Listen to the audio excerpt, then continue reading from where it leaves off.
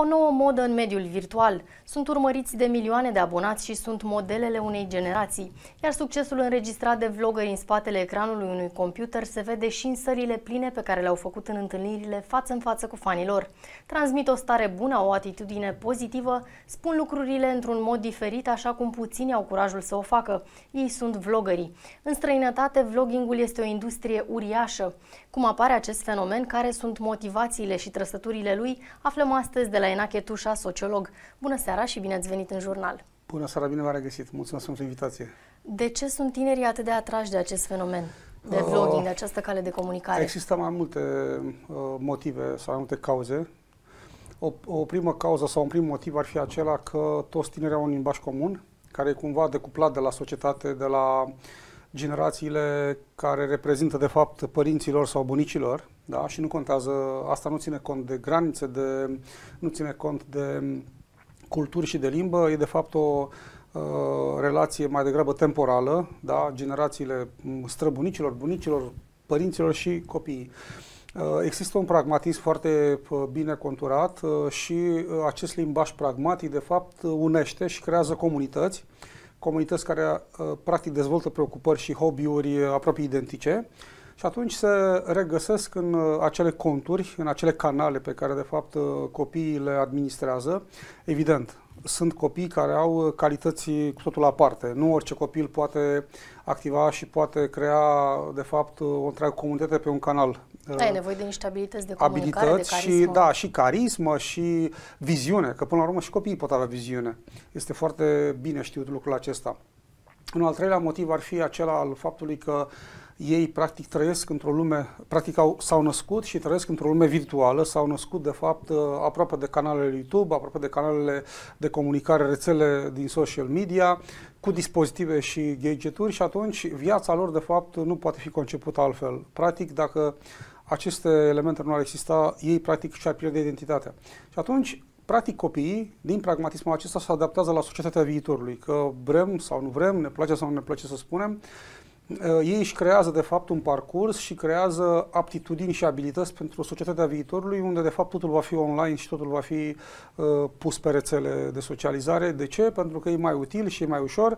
Uh, profesii ale viitorului care se conturează încă de acum și iată uh, până la urmă și modelul acesta al uh, câștigului din vlogging este un model al unei profesii de viitor. Nu s-a gândit nimeni acum 10 da, ani exact. că poate cineva să câștige sume consistente și chiar destul de serioase din o joacă. Până la urmă este o joacă acolo.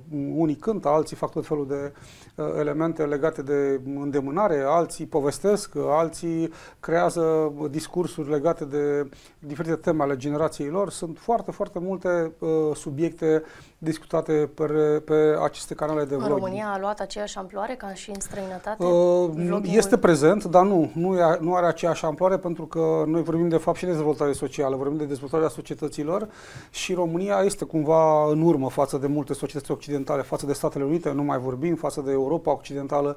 Uh, a apărut și în spațiul românesc, există vloggeri și prin rândul copiilor, dar mai degrabă la noi vlogging este ocupat cumva de generația tânără, cei care au undeva peste 20 de ani, 18, 25, 27 de ani. Copiii apar și ei, dar sunt puțini, uh, pentru că avem o societate disparată, disproporționată și avem copii care se află în diferite zone. Copii care nu au ce mânca, în societăți super sărace sau foarte sărace, comunități de fapt foarte săraci din România și copii care au acces la toate uh, elementele acestea ale conexiunilor globale, rețele de internet, uh, dispozitive și canale, da, uh, bloguri și canale de fapt de YouTube unde pot face vlogging. Uh, e puțin, să spunem, uh, rămasă, nu rămasă, e, e mai redusă, de fapt, această industrie cu ghilimele de rigoare la noi, dar ea se va dezvolta. În viitor se va dezvolta pentru că vrem sau nu vrem, copiii noștri se conectează și cu întreaga lume. Se supune ei și unor pericole în momentul în care Evident. accesează aceste canale de YouTube? Evident că da, pentru că în prima fază canalele de YouTube au fost făcute cu un scop pozitiv. Copiii să se conecteze între ei și știm foarte bine că în rândul copiilor spiritul de justiție este bine reprezentat și de dreptate și de corectitudine. Copiii de regulă uh, văd când ceva nu, nu este conform cu realitatea și cu dreptatea și reclamă. Uh, însă pot apărea diverse uh, zone parazitare, ca să spun așa, canale care, poate, care pot de fapt Uh, parazita, un canal poate să distorsioneze un mesaj al unui vlogger. Da, pot transmite da? niște mesaje da, subliminale. categoric și pot, pot schimba conținuturile. Însă aici cred că va interveni o altă profesie, o altă industrie, aceea securizării, de fapt, mesajelor și a securizării canalelor. Pentru că, iată, există liste întregi și astăzi pe care le fac uh, Uh, cei care construiesc societățile acestea profesionale, recrutorii, celebri recrutori în diferite profesii, liste de uh, viitoare meserii, viitoare profesii care astăzi nu există și se vor contura în anii următori.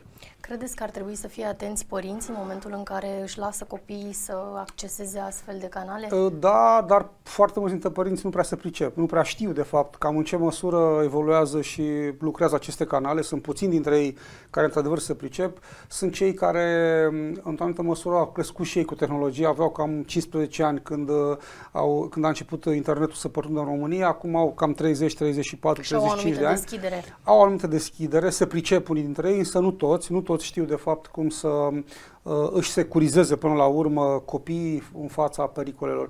Uh, este un risc, dar din punctul meu de vedere, cred că societatea se dezvoltă și evoluează și până la urmă comunitățile merg în uh, acest ritm, ritm al societății pentru că altfel uh, rămân în urmă. Se decuplează și uh, re- reușești foarte greu să recuperezi din urmă. Principalul avantaj credeți că este acesta financiar? Credeți că... Nu numai financiar, și financiar, pentru că el s-a adăugat. În primă fază, uh, vloggerii și cei care, de fapt, au început să comunice pe diferite canale și copiii, au făcut-o din pură curiozitate și din, pură, din pur interes uh, de conexiune cu ceilalți, să spunem, tineri de vârsta lor și pasionați pentru anumite, nu știu, fie seriale, fie uh, muzicieni, fie diferite jocuri. Uh, au început să apară reclamele, pentru că aveau foarte mulți vizitatori și utilizatori al acelor canale. Uh, reclamele au adus după sine un anumit tip de profit care, mă rog, s-a redimensionat, a crescut, a crescut până a ajuns să fie o industrie. Da, practic e o Și acum e, motiva- e și o motivație. Da, da, da. Bine, marketingul în altă perspectivă și în altă formă e acolo nu marketingul așa cum învățăm noi la școală din cărțile de, tradiționale de marketing, ci un marketing care funcționează conform legilor pieții, pieței, pardon, și uh, aceste legi ale pieței pe care noi le întâlnim în lumea reală, ele se uh, transferă în virtual, dar au cu totul altă, altă conotație și altă dimensiune, adică cresc exponențial. Pentru că acolo sunt comunități multe care, de fapt, primesc mesajele și ele accesează, multe dintre ele accesează acele mesaje și crește, de fapt, și uh, vizibilitatea. Enache Tușa, mulțumesc tare mult pentru prezența în jurnal.